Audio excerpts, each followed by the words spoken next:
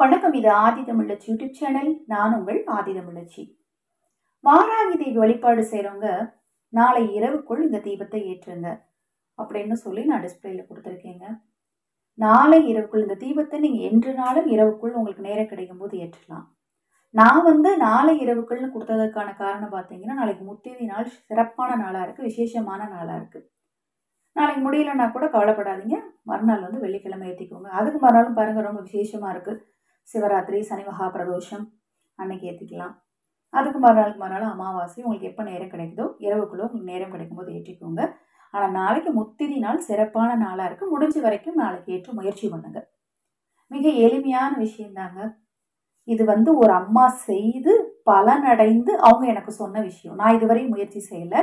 அந்த அம்மா வயதான அம்மா அறுபத்தெட்டு வயது ஆகுது அந்த அம்மாவுக்கு அந்த அம்மா இன்னைக்கு காலையில் பேசிகிட்டு இருக்கும்போது வந்து குடும்பத்தை பற்றி முதல்ல பேசிகிட்டு இருந்தாங்க. அப்புறம் வழிபாட்டு முறைகளை பற்றி பேசிகிட்டு இருந்தாங்க. இப்படி ஒவ்வொன்றா சொல்லிட்டு இருக்கும்போது எங்கள் மாமனார் வந்து இப்படி எனக்கு உடம்பு சரியில்லாமல் போனப்போ எல்லா வசதிகள் இருக்குது உடம்பு சரியில்லை ஆப்ரேஷன் பண்ணாங்க. எல்லாம் சரியாயிடுச்சு இப்போ நல்லா இருக்கிற ஏமா ஆனால் இப்படியே இருக்கிற அப்படின்னு வந்து சொன்னப்போ நான் சொல்கிற மாதிரி இந்த தீபத்தை ஏற்று உன்னுடைய குழந்தைகளுக்கு சீக்கிரம் கல்யாணம் ஆகும். எல்லா வசதிகளும் இருக்குது நல்ல வசதியான குடும்பத்தை சேர்ந்தவங்க அந்த அம்மா. அந்த அம்மாவுக்கு அறுபத்தெட்டு வயசு ஆகுது. எங்கள் மாமனார் ஒரு வழிபாட்டு முறையை சொல்லி கொடுத்தாருமா? அப்படின்னு சொல்லி சொல்லிட்டு இருந்தாங்க எனக்கு. அவங்க வந்து தஞ்சாவூர்காரங்க. அவங்க வந்து மிக எளிமையான விஷயம் தன்னுடைய மருமகளுக்கு. மருமகளுக்கு அறுபத்தெட்டு வயசு அந்த மாமனாருக்கு நூற்றி இரண்டு வயசு. அப்போ தான் கேட்டேன் மாமனுடைய வயசு என்னங்கம்மான்னு கேட்டப்ப நூற்றி இரண்டு வயது ஆகுதுமா எங்கள் மாமனார் வந்து உனக்கு எல்லாமே இருக்குது பணம் இருக்குது கார் இருக்குது வீடு இருக்குது வசதி இருக்குது ஒரு குழந்தைய கல்யாணம் பண்ணி கொடுத்துட்டு இன்னும் ஒரு குழந்தைக்கு வரேன்னு பார்த்துட்டு இருக்கிறேன் ஆனாலும் இது நடக்காதோ? நம்மளுக்கு இது நடந்துருமோ?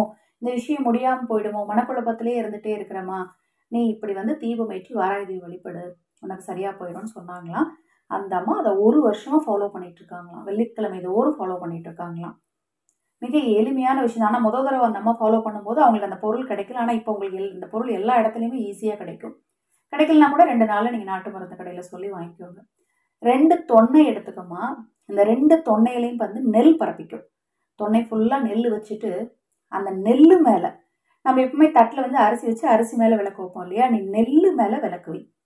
ரெண்டு அகல் விளக்கு வாங்கி வச்சு அகல் விளக்கை நல்லா பன்னீர் ஊற்றி கழுவிட்டு சுத்தம் பண்ணிட்டு சமணம் வச்சு குங்குமம் வச்சு பஞ்சுதிரி போட்டு நெய் ஊற்றி நீ தீபம் ஏற்று. வாராகி தேவிக்கு உனக்கு தெரிந்த மந்திரத்தை சொல்லி வழிபாடு செய். உனக்கு பீஸ் ஆஃப் மைண்ட் கண்டிப்பாக இருக்கும் நான் உனக்கு மன நிம்மதி நிச்சயமாக இருக்கும். நீ வந்து ஏற்றி வழிபாடு செய்யினாங்களாம் அந்த அம்மா இப்போ சொன்னாங்க. என்னுடைய பையனுக்கு வந்து அடுத்து நான் வரேன்னு பார்க்குறக்கிறவா இப்போ என் மைண்ட் நல்லா இருக்குது நல்ல ஒரு அமைதியாக இருக்குது மனசு. எப்போவுமே ஒரு மகிழ்ச்சியாக இருக்குது. இது நடக்காதோ அது நடக்காதோ இது முடியாமல் போயிடுமோ அது முடியாமல் போயிடுமோ அந்த மாதிரி பயமெல்லாம் இல்லை. முடியும். எல்லாமே கடவுளுடைய அனுக்கிரகத்தால் முடியும் அப்படின்னு சொல்லி என்னுடைய ஆழ்மனம் என் நம்புது. இதை நான் தொடர்ந்து செஞ்சிட்ருக்கிறேன் நீயும் செய்யின்னு எனக்கு சொன்னாங்க. நான் நாளைக்கு செய்ய போகிறேங்க சிறப்பான நாள்.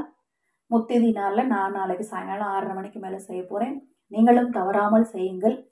நிச்சயமாக உங்களுக்கு வாராகி தீவினர்கள் கிடைக்கும். ஏன்னா நூற்றி ரெண்டு வயது வாழ்ந்த ஒரு முதியவர் தன்னுடைய மருமகளுக்கு கற்றுக் கொடுத்த விஷயத்தை அந்த அம்மா வந்து சொன்னதை இன்னைக்கு கேட்டு எனக்கு ரொம்ப சந்தோஷம்.